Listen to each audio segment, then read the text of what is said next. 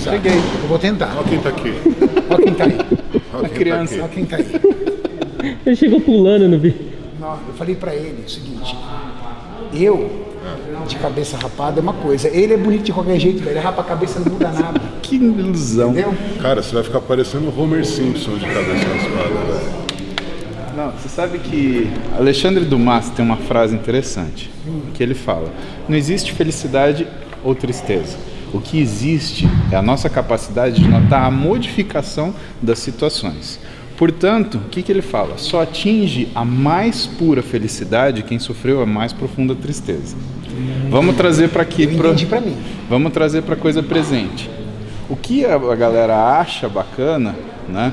É, é assim, eu já tô, eu já tô no resto do resto, não tem como piorar mais. Então, tá bom do jeito que tá. Você raspa a cabeça, não piora muito, não sai daquilo. Piora, Mas quem tem piora. chance?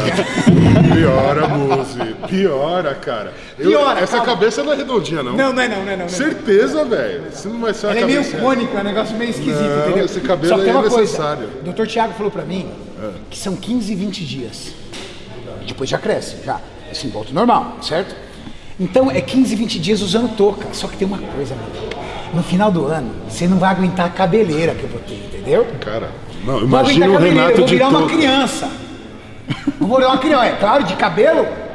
Cabelo, você. Só que eu tenho uma você coisa vai querer na calma, eu tenho uma coisa Você vai boa. querer ir na mês. Você vai querer ir na. Deixa Vai botar um topete. Deixa eu na classe, deixa eu na classe. Não, só falta, né? Deixa eu na classe. Só que tem uma coisa, ó, ó, sabe o que o doutor Thiago falou?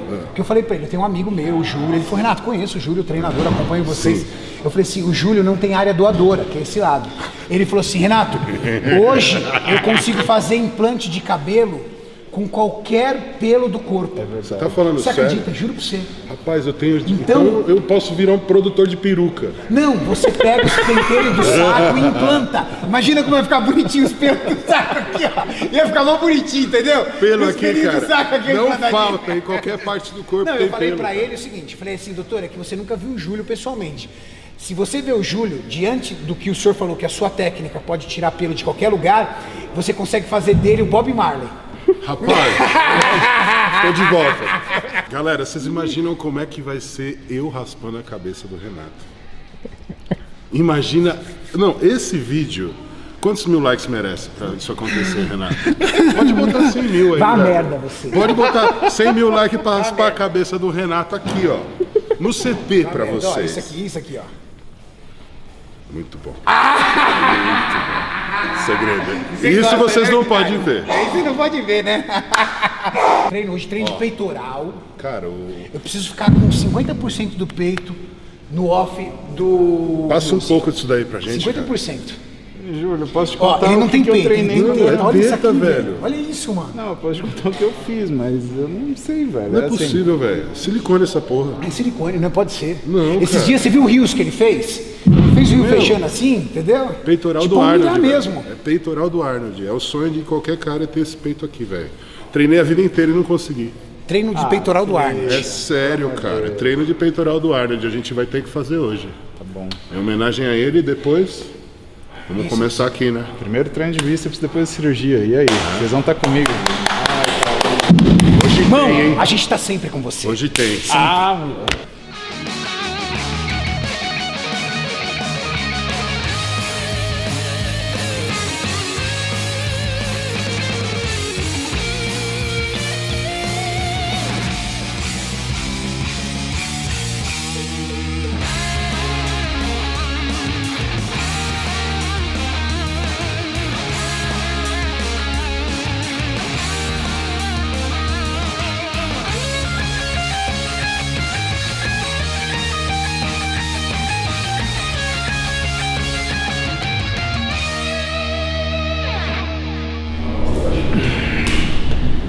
E aí, vamos começar por quê? Tô pronto. Olhe pra cremosa quando o Paulo Musi olha para o espelho.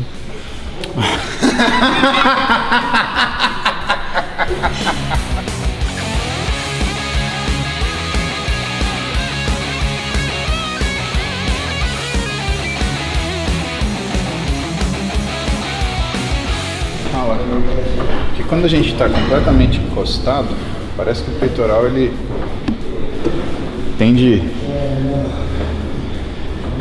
Em relação à angulação do braço, ele ficar um pouquinho mais para baixo aqui assim, né? Vale a pena você, por exemplo, baixar o banco para tentar fazer isso mais alto para pegar a parte mais superior? Você acha que não tem variação? Existem variações. Se pegar mais para cima ou mais para baixo, você consegue direcionar mais para as fibras que estão mais próximas do ombro. Ou se você subir mais o tronco para a parte mais inferior, principalmente se você usar os ângulos né, do banco. Então, se você quiser direcionar para baixo, por exemplo, você teria que fazer isso. Óbvio que mais alto. Tipo um Mas- canadense, né? Exato, mas essa posição eu tenho um plano de força exatamente para as fibras inferiores. É isso que a gente faz para poder, né, mudar o foco do trabalho. Fisiculturismo é isso, é você conseguir adaptar a mecânica de qualquer aparelho para o ângulo que você pretende trabalhar o músculo, o trilho que eu costumo dizer.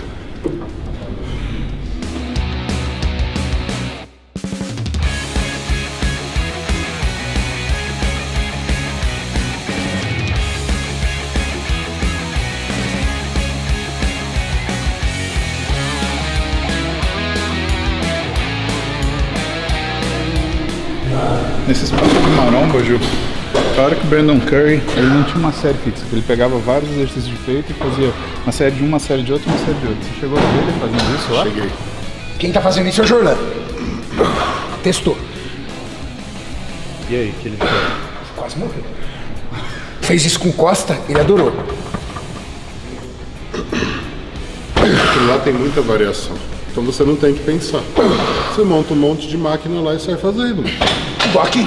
O que, que o Jordan fez? Ele foi fazer Costa, ele puxou daqui pra lá. Foi indo uma atrás da outra. Fez máquinas. 11 máquinas.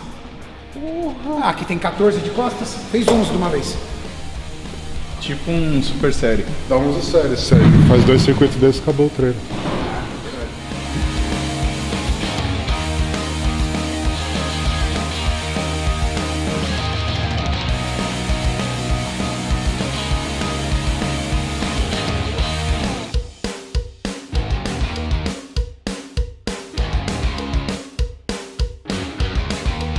Renato, imagina um treino interminável. Gui, Júlio e Muso. Por que o Gui? Porque o Gui tá treinando igual gorila também. Ah. Nas quatro vezes no dia. Não, treino, intermináveis. treino interminável deve, deve ser interessante colocar um dia o gorila e o muso pra treinar junto. Nossa. Mas tem que chegar um pro outro e falar assim, ó, quem cansar primeiro, paga a conta. E você só, só ganha por um vídeo, tá? Só que você vai fazer na forma. Você vai fazer 10 séries, 10 vídeos na forma de um. É. Vamos aquecer no Smith. 20 séries para aquecer. 20 Oi? séries pra aquecer. 20 de Smith? Não, 20 em cada posição que o Smith permitir. Pra gente aquecer.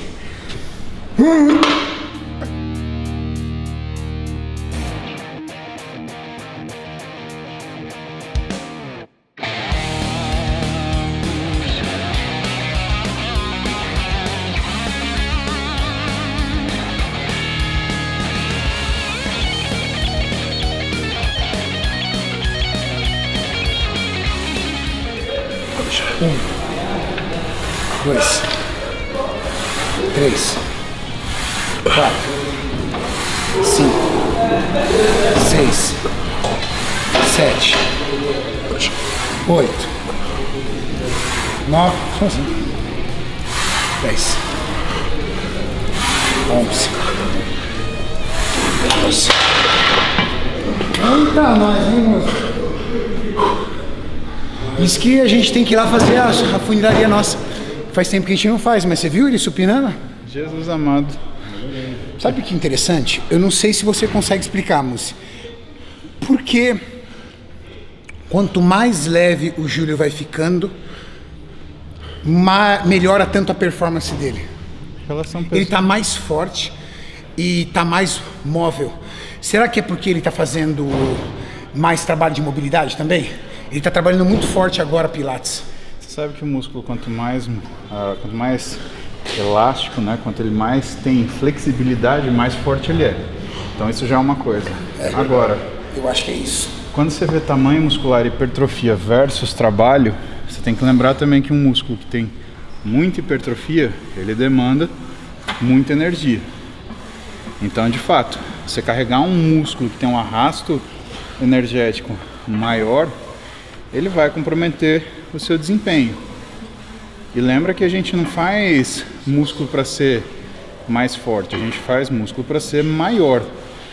Os exercícios de força que a gente faz é para conseguir trabalhar grandes repetições com cargas que sejam relevantes.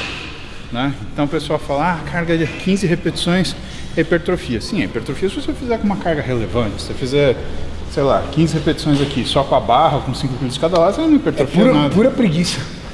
Sim.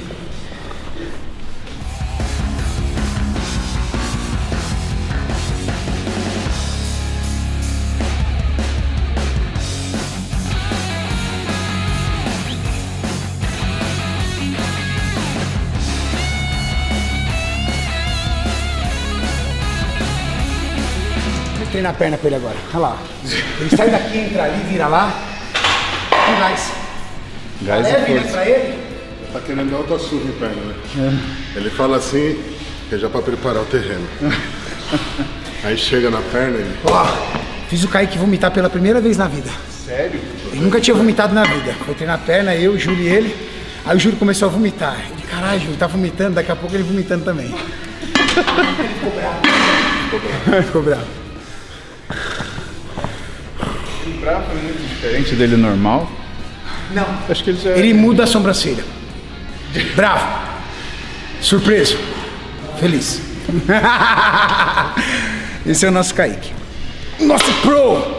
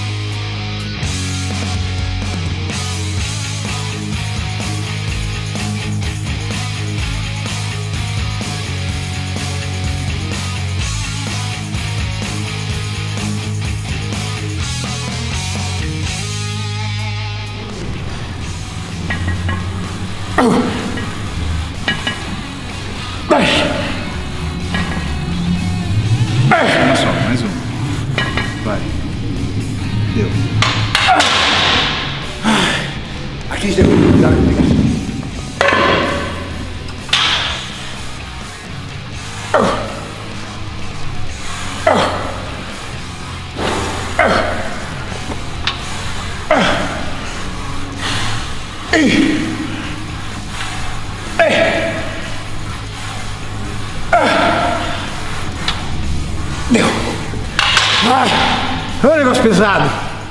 Ai, Maria. Tá na ponta, gente, pra ajudar? 20 cada lado? Dá folga pra ele ali. Vou te falar que esse é um exercício que eu tenho medo. Ah.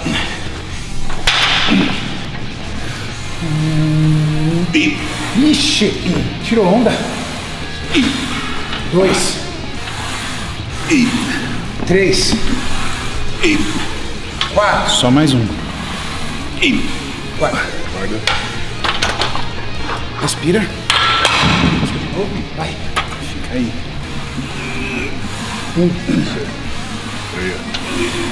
Dois. Três.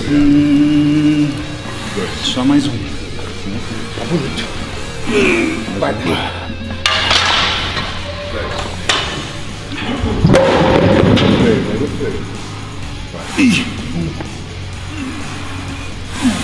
Dois.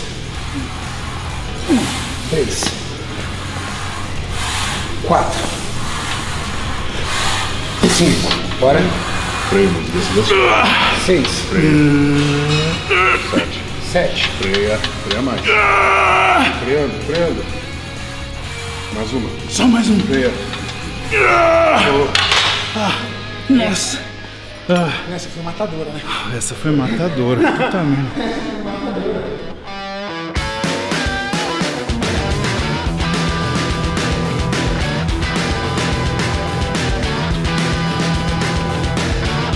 Pra conversar nesse vídeo aqui.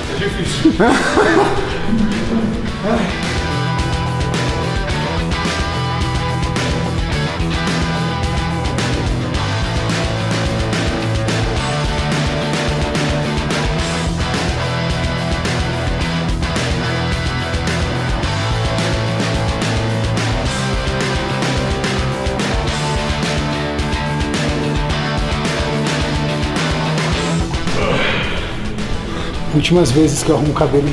Últimas vezes, viu? Tá chegando a hora. Chegando a hora. Chegando a hora, gente.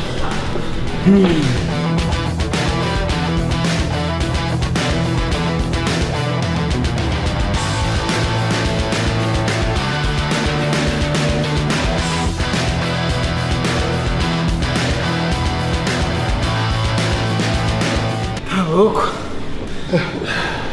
Coloca aí a foto do Kimbo. Isso não é a cara. Entende.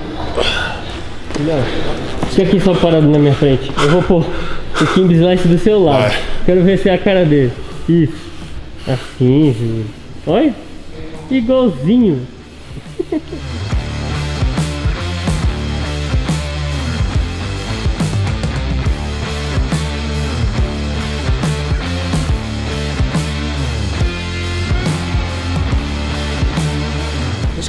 Gosto de treinar também, que eu gosto de treinar agora também é costas. Eu também. Eu aprendi a pegar gosto treinar costa, velho. Recente. Recente. No- Quando, na minha preparação, o Júlio me passou um monte de técnica, eu peguei gosto. E hoje você sabe o que você tem que fazer. Exato.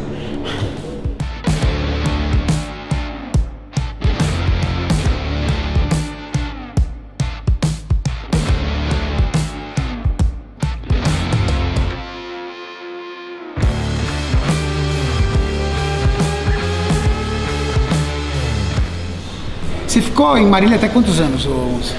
E até os 16. Seu pai dava aula lá? Porque tem uma universidade feada em Marília, não tem? Então, na realidade, Ou você morava com a sua mãe?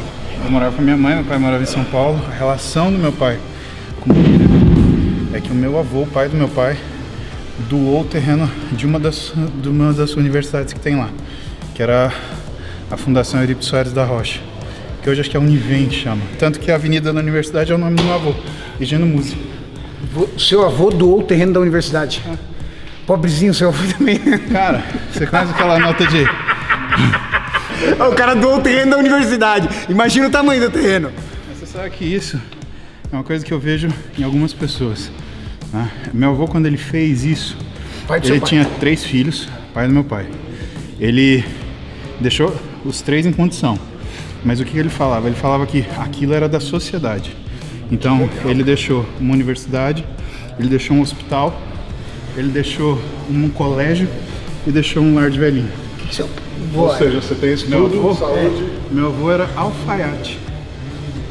Meu Tem avô, estudo, saúde Mas ele era um pai tipo o Ricardo Almeida. Meu avô com tre... ele tinha, se não me engano, oito irmãos. E o pai dele, meu bisavô, ele tinha um armazém no rio. O armazém pegou fogo num acidente, acabou com tudo. Meu bisavô se viu sem nada, com uma tropa de 20 burros. E aí? Meu avô tinha 13 anos, ele mandou meu avô para o Rio de Janeiro, ele era de Macaé, mandou para o Rio de Janeiro para trabalhar numa alfaiataria. Então, com 13 anos, o meu avô ele morava debaixo do balcão da alfaiataria e trabalhava lá. Com 14 ou 15, conta a história, né? Meu bisavô chegou um dia na alfaiataria e falou: Ó, preciso que você trabalhe mais. Aí pegou meu avô, deu 20 burros para ele e falou: Você vai pegar esses 20 burros, você vai pegar essa tropa de burro, você vai vender tecido lá no interior de São Paulo. Então ele pegava a tropa de burro, vendia tecido e voltava, porque o meu bisavô já era de idade e sustentava o meu bisavô e os oito irmãos. Essa a história do meu avô. Ele, seu avô fez a carreira dele, a vida dele inteira, Sendo homem de negócio, de de Comerciante. comerciante. comprando e vendendo tecido. Aí Começou como ele, alfaiate. aí ele fez uma alfaiataria em Marília, Nova América, né? Começou de alfaiate lá e ele sempre foi comerciante, né? Foi do comércio. Meu tio era do comércio. Só o meu pai que resolveu seguir a cadeira, case- ca- carreira acadêmica. Com 18 anos, meu pai casou com a minha mãe e foi fazer física na USP aqui em São Paulo.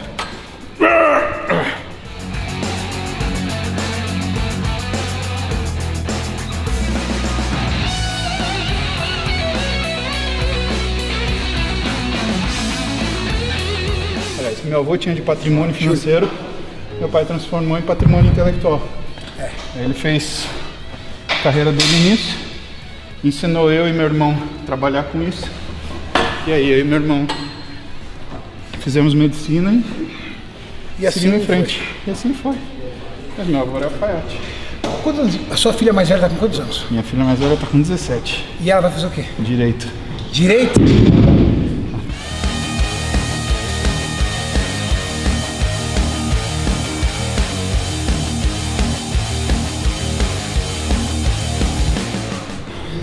Nem o tio.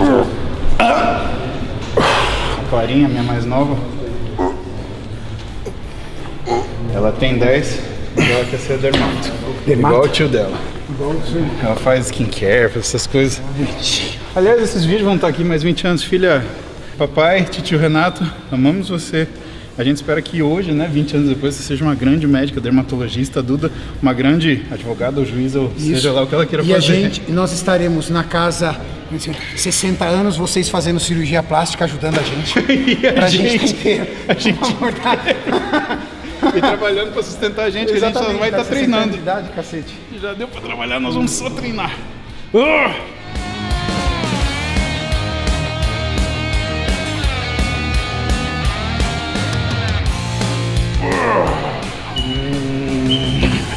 Tá achando que é mole?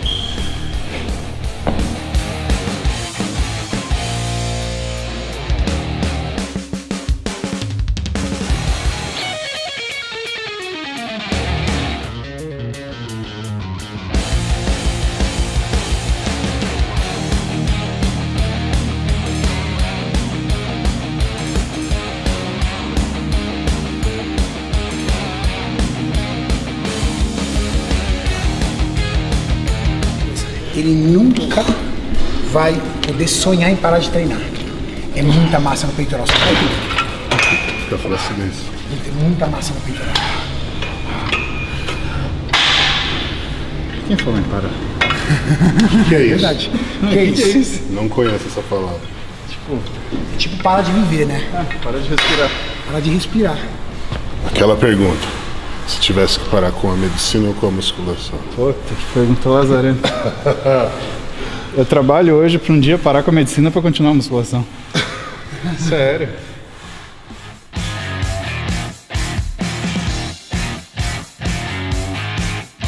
Eu também. Mas uma coisa eu vou te falar. A medicina Eu acredito que se aposenta na medicina antes.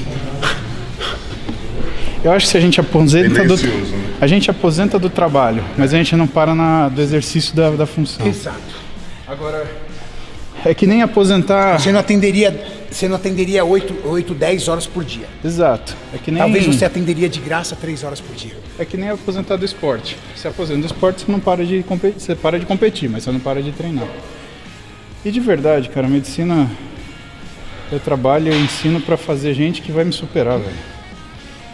Então, eu tô ansioso, cara. Tô ansioso porque eu quero que daqui uns, sei lá, podia ser ano que vem, pode ser daqui 10 anos, apareça um cara 10 vezes melhor que eu pra justamente poder perguntar pra ele as coisas que eu não sei. Aí, Sucessor.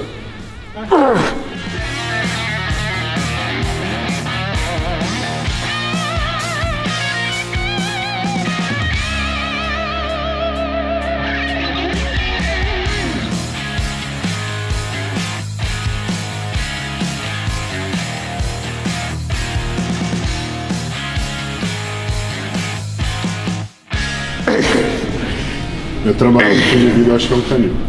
Canil? Canil. Eu curto, Gosta de cachorrinho? curto. Eu Minha também. cachorra é da hora. Eu sou fissurado em animal. Mas tipo, criar mesmo. Não queria pegar os bichinhos na rua. Isso. Pegar os bichos na rua e cuidar. Eu sou ali. Você lembra do filme Irmãos Gêmeos? Sim, Dan DeVito. Finalzinho do filme, Danny DeVito e o Arnold, eles chegam no instituto que é da mãe deles. E aí eles encontram uma senhora varrendo e tal, e eles contam a história deles. E a senhora vira e fala pra eles, olha, ela morreu, não sei lá. E no final das contas a senhora era a mãe deles. Lembra disso? Lembro. Pois bem. O que, que eu acho que é o meu fim de vida? É eu ter um instituto que tenha, meu, um monte de médico, um monte de professor. E eu tô lá, tipo, dando um rolê e, tipo, fazendo um treininho, entrando como se eu fosse. Assim, entrando, ninguém me conhece. Aí eu é um entro, tô anônimo, treinando. você como É, um anônimo. eu sou um velhinho engraçado, tá ligado? E aí eu escuto o papo dos caras treinando, eu treino junto com eles, eu escuto o papo dos caras, puta, tá difícil que o paciente tá assim. Eu falo, meu, você já tentou fazer isso? Isso aí o cara, pô, valeu, Legal. tio. Valeu. Meu, ninguém sabe quem eu sou. Eu é sou um velho. Já quem é esse pensou? velho, mas ele é zica. Meu, Shapeado, hein? Assim. Tem um velhinho shapeado, velho. Não Tem um não peitão, cara. não. Tem um peitão. Não ia ter como não reconhecer.